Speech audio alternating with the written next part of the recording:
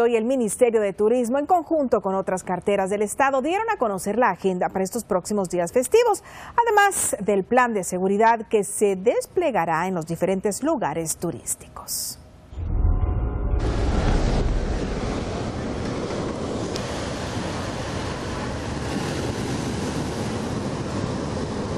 Y una invitación para todos los visitantes, los, todos los que vienen de Estados Unidos, que vengan a, disfrutar. De esa manera, la población se prepara para las tan esperadas vacaciones agostinas, pero también el gabinete turístico Bajo la campaña Aquí me quedo invitan a la población a realizar turismo interno. Que estamos promoviendo las rutas, tenemos la ruta de las flores, la ruta panorámica que les invitamos a, que la visiten ya que esta ruta se está dinamizando eh, hace poco. Por supuesto toda la parte de la zona franja costero marina donde nos encontramos, no solo aquí en La Libertad, sino que también en el oriente y en el occidente del país.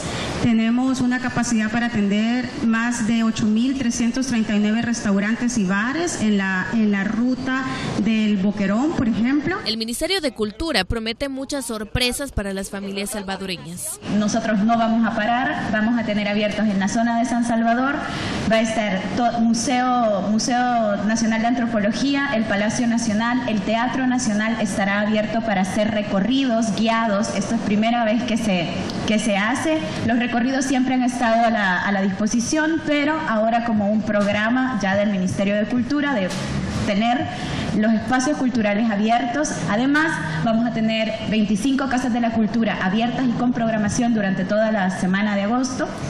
También vamos a tener abiertos y con programación nuestros parques arqueológicos Tazumal, San Andrés, Casablanca, Cihuatán, Joya de Serén estarán abiertos para ustedes, además de los parques nacionales que están en la zona de San Salvador. El tema de seguridad también será prioridad se desplegarán más de 10.000 elementos de la Policía Nacional Civil y más de 8.000 de la Fuerza Armada. Estaremos en 14 turicentros del Instituto Salvadoreño de Turismo.